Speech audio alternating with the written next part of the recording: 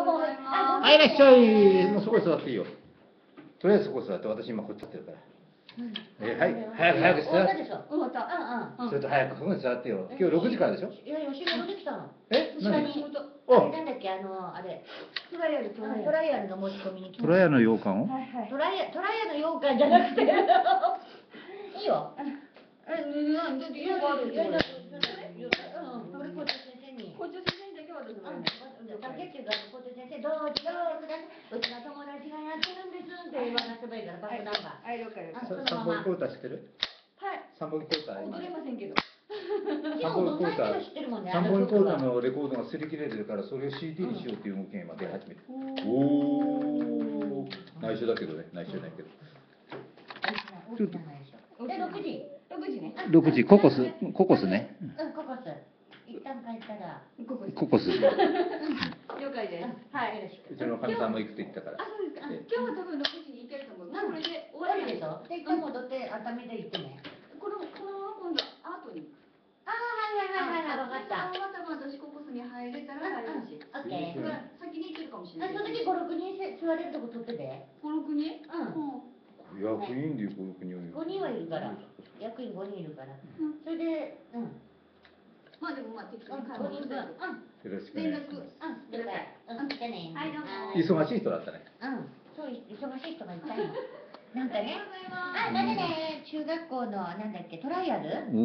おおおお彼女その担当で、お各授業にご挨拶に行って、7月なんだけど、受け入れお願いしてある受け入れを頼みにこう歩いて局来たわけです。じゃあうちの駆け足新聞社にも来てもらおうかねね。ねあのキャスターの真似事してもらったりそうだね。取材を連れ7取材に連れて行ったりねいいね。あなんでもぜひちょっと言っちゃっていいかな。駆け足通信社でよそで知られてないからでもこの半年の間で知られるんだ前はちょこっとの編集に来たんですよ。おおいいねうんうんうん。あの見学に。おおちょこっとね、うん、そういう感じで何かをやってるところにね。うんそれでね、えー今日はね常設の会があったのあ、そうそうそう、それ気になってたの。今もね、うんあのーそのねどんな感じでした？今日は。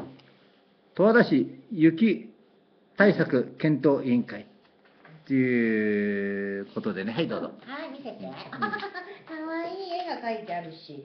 なんかカラーですね。うん前白黒です。うんお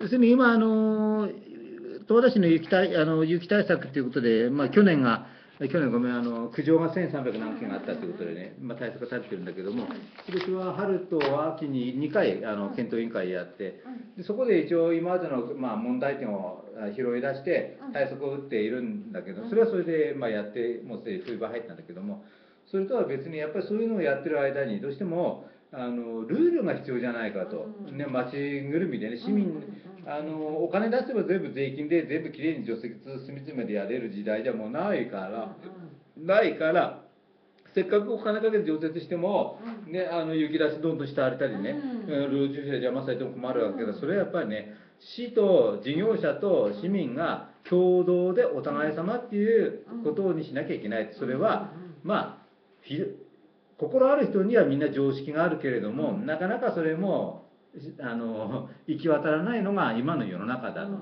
そうするとある程度ルールというかあの法律っていうかねうん。約束っていうかねそういうのもあってもいいんじゃないかと。そうしないと収まりがつかないんじゃないかと。いうことでそのやっぱりルール化条例化を一つのあの目標に置いてねで具体的な方法を考えていこう。どういう厳しいルールゆ緩やかなルールいろいろあるからあるけどもということでうん。今回は、えー15人の委員を選んでね、ううん。あのーえっ、と委員長にはね、あのー建設庁の役人やった人がね石井さんっていうんだ来てね、あと警察からあの交通安全課長が来てね、で消防署からも竹原さんが来て、で町内会連合会から工藤大会長様が来てね、で商工会議所から田中さんが来てるから、はいそれから商工会から中村正夫さんっていう、私はこれ存じで福祉協議会は立明さん、建設業協会から田中洋一さん来たんだよ。すごいですね。あの人来たんだよ。社長さん自らね取締すごいでしょ。だって、んあと私のナンバーワンかナンバーツーの人は、うん委員会に来たんですよ。すごいですねでしょ。で、漆田さんは試練の PTA の方ですね。うんうんうんあと市民代表で山形正弘さんという人と、野月幸男さんという人と、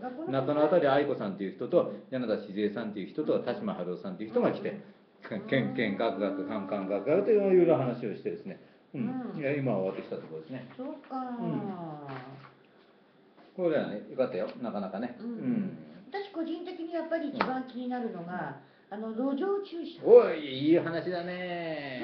すごいやっぱ気にな今ってます回ね、あの今回某田島春夫さんがね、あの投書したわけだ。そうそうそう。それがもう反響を読んでね、まあ、ここにここにあるからねうん。読むと読む読むとね。1分間だよねえーあ。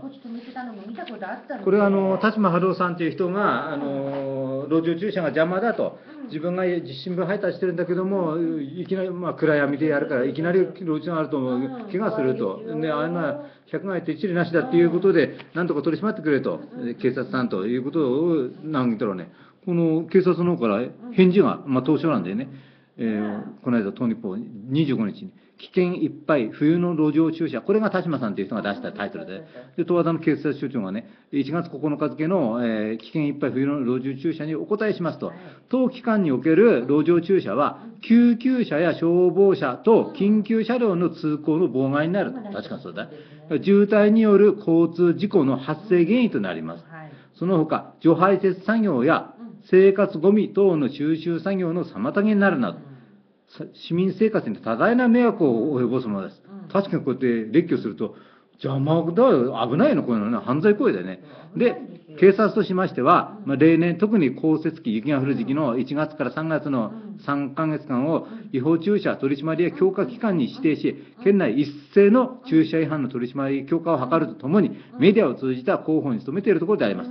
また当初十和田警察署におきましても路上あ道路管理者との連携を図りながらうん。市役所だね、えー放置駐車や深夜における長時間駐車等の危険性あるいはそれがいかに迷惑であるか迷惑性の高い路上駐車の取り締まりを強力に推進してまいりますので住民の皆様のご理解とご協力をお願いします。これを反応が来てるん。ででね今日もその田島さんっていう人が参加しててねいやあのおかげさまで、まあ、良くなったと。で、でまあ、ありがとうというお礼があってね。で、除雪業業者からもね、お礼されたんだって。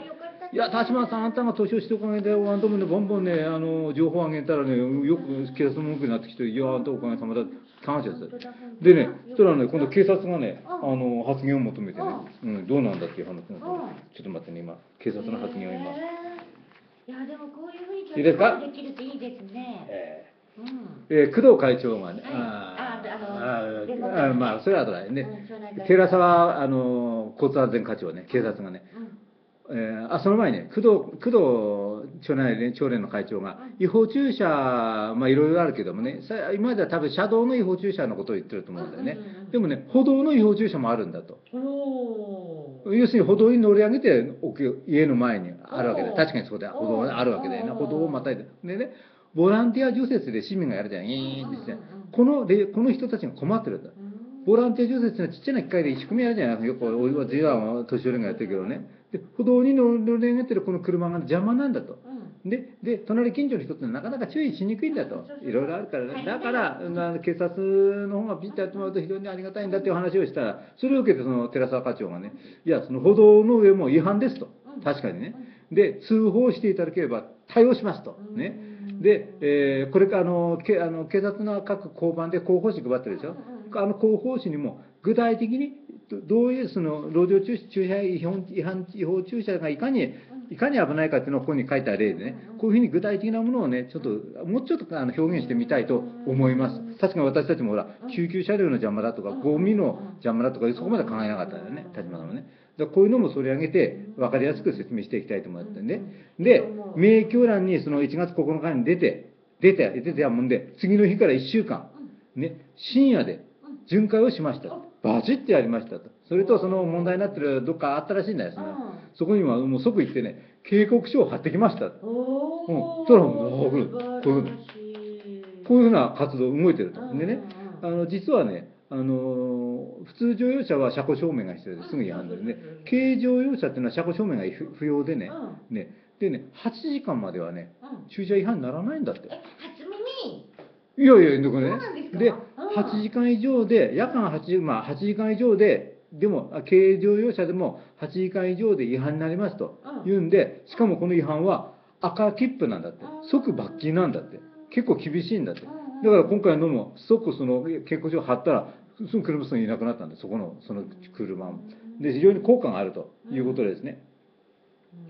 だからその駐車禁止という駐車禁止という表示もね、もっともっとこれからそこ今のような即赤赤切符ですということとか、これだけ邪魔してるんだよということをちゃんとあの回ってですね、あの市民に呼びかけてですね、うん、でやっぱり社会住みやすい社会にして、でどんどんやるって最後までやってやってやってそんなことがあって。のこうのの前に、うんやっぱりそうやってね、だから、これをほら、モラルだ、なんだ、道徳だって言ってることじゃないでしょ、もう明らかな、だってん、法律そのものがルールん、市民がお互い、国民全部お互い様っていうことでやってるわけだから、それにのっとってビシビシやればいいよ、それを見逃したりなんかするからのさばってくるわけでね、これはしかもいろいろ社会迷惑だ、そうな話だ。でもね、これがあって少しでも皆さんが気をつけてね、気にして行動してくれれば、この何より鹿島さんすごいです。みんな思ってても言えなかったりするしね。うん。でこの当初っていう形がね、穏やかで、で、あの、関係者がそれなりに動いてくれれば。だからそういう意味で、我が、あの、喋り場の、あ、喋り場、あの、掛け新聞も当初欄がいつも充実しているということでそうなね。んですよ。ねえ。ああ、みんなそう思ってんだけど、なかなか言えないことっていっぱいあるんだな。小山田市長に期待するとかね、今回はね。事業管理者の最後の、不快な最後っぺってわかります？これあの、中央病院の事業管理者が辞めていくときにずいぶんひどいことを言ってか辞めていたよね。しかもあの、ね。掛け合新聞じゃない、なんか別の新聞で一生懸命取り上げてね、いかに市長がひどかったかとかさ、自分とこの部下が全然仕事ができ無能だったということを、おい、こんな言い方はないだろうと私も思ってたら、そういうことなんで、要するにね。だって、例えばあなたがさ、あの、どっかのえー職場の課長だったらするじゃね。で、うちの会員は全然動きが悪いのよって言ったらさ、かそれを使いこなすのは課長の仕事だべってことになるじゃないですか。だからリーダーってのはそういうもんで、リーダーが部下の、部下の不不出来を言いふらしてるんだったら、自分の無能力さを表してるようなもんじゃないですか。考えられないですね。ね、だからそれは大人は良くないんじゃない？か、こんなことだよね、ということで、で、で、で、えー市役所3つ出ましてね、案内表示がせんちっちゃいから大きくしてくれとかね、それから総合案内が消えて不便になったと、これは私も感じますね。それからロビーにテレビを置いてね、議会中継をそこでやってくれとかね、他の市役所でやってるからね。も。もう簡単なんだから、あれは。う。ん、どうってことね。結構あちこちの市役所でも、あの、六戸のあの町役場でも、みんなそこでたむろしてね。う、ん。しかもね、あの、コーヒー飲みながらできるでしょ？見れるでしょ？で、ブツブツ言えるでしょ？いやー、またあったらこと喋ってたとか、あとあのモニターになると顔の表現、そういうのが全部見えるのよ。そうだよね。ちっちゃく見るよりは。うんだからこれはありだなと思ってね、いい意見があったね。あ、それっていいかも。うんああと、それから千歳小学校の4車線分離帯が邪魔だって、早く、早くやってくれと。ねね、1000台が350台しかないんだから早くやってくれとことで今日取ってきましたけど、確かに邪魔だよね。何の役、だってぐるっと回ってこなきゃいけないしね、あの、保育所に入れるにしても何してもちこ。ちも傷んで壊れてるんですよ。おいやいや。今雪が隠してくれてるんですけど。でででなんかここにうん TMG48。そうなんですね。十和田にもね AKB48 ができたのと思ったら違いました。うん TMG48 です。うん？十和田をもっと知ろう、もっと好きになろう、そして市外から訪れた観光客をもっともっとおもてなししよう、そう思う女性たちが集う TMG48 のセンターは前田美代子さん。これどこで聞いたことあるのうん様々なボランティア活動をしながら構想を温めていました。だって、春祭りの観光ガイドや街中イベントの手伝いなど楽しみながら活動したいわとワクワク感いっぱいです。ごめんね、ニンニン。ファミリーズのネギンちゃんが特別会になった。もう女の子だもん。入っちゃった。女性パワーで十和田を元気に。TMG48 の定員は48名、現在31名。だから開運募集ほら3人プラスになったから。あ、もうじゃあ残り少ない、枠が少ないうん。いろいろな形の活動がありますので、で、で電話番号書いてますので、ぜひ皆さん来てください。ライブに研修に会食に富士のホールで。まあいろいろありましてですね。よかったよかった。様々だったねねで、あとは今週は、あれだね、うんえー、30日が6時産業科のセミナーがあるね。あそこのね6時産業科ってのは分かるかな？わかります。あいや、1時半から。1時 ,1 時と2時と3時を足して、あの1、1時、3時と4時か5時になるね。あ、違3、う4、5、6、あ、時間の話じゃなくて。う1ん。時産業、2時産業いいね。と3を足して、中学校で習ったよね6になったのよ。一次産業っていうのは、あの農業とか農林水産業あの一次産業。だよね。要するに。で加工。うん、二次産業加工。三次が販売サービスという感じでね、123を足すと6になるおや。で要するに、えー生産者だね。農業者や漁業者いうその生産者が、えー加工から販売までもう手がけていこうと、おまかそれを担ってあやって進めていこうよということだよね。それの、えー講演会があってそれから実際にやってる人のあのあ試作品の試食の展示と、それから業種異業種との交流会商談会があるっていうんでこれがぜひですね来てほしいということをですね。富士屋グランドホール30日1時半から。これはよろしいんじゃないですかね。この日は午前中に小山田市長のですねうん。2期目に向けての抱負を記者会見がありますね。でそっちの方から回りたいなと思いますね。なるほどね。うん。うんうんそれあとは何かあったかな？今週は、うん、あ冬物語が一応始まるんだね。そう。あー金曜日から。が1日からで、セレモニーがねあるんだけど、ううんん、と街中では負けるしなおおおその説明した方がいいんじゃないですか？どうぞ。広告入ってましたね。飛び出す街へが十和田市連合会少年それまずいん。じゃないここでもお知らせしないと。う持ってくるよすぐもうした方がいいさっと行ってさっとね。さっとさっとね。金かかっちゃうよ。しばらくお待ちください